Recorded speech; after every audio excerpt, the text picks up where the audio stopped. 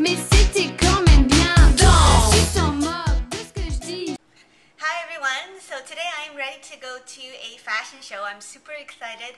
It is a fashion show for the Taiwan Festival at the Harbourfront Center in uh, Toronto. So I am casted as one of the key makeup artists for the show and I thought I'd make a video blog and uh, show you the looks that I've done for the show and as well as some footage from the show.